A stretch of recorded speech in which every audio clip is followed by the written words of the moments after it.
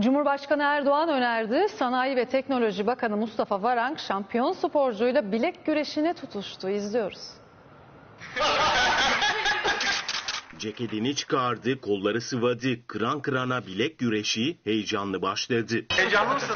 Acayip korkuyorum şu anda ya. Ne heyecan. Şanlıurfa'da şampiyon milli sporcu Samet Ocakoğlu'yla bilek güreşine tutuştu Sanayi ve Teknoloji Bakanı Mustafa Varank. Öneri ise babalar gününde Cumhurbaşkanı Erdoğan'dan gelmişti. Nasıl bozuları nasıl bir görelim bakalım ya. Pozları fazla yapama böyle atar.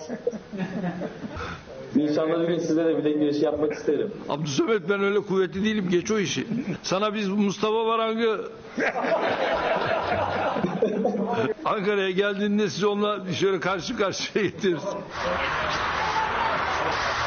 Maçın en zorlu anında milli sporcudan gelen soru salonda kahkahalara sebep oldu.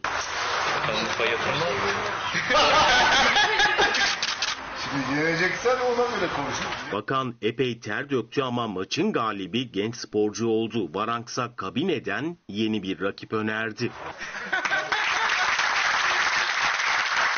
Zorladı bakanımız güçlüydü. Yani gerçekten zorladı beni. Kazanan taraf yine ben oldum. Ben vallahi Cumhurbaşkanımızın yüzünü kara çıkardım. Mehmet Ersoy'u yollayalım o bence yener.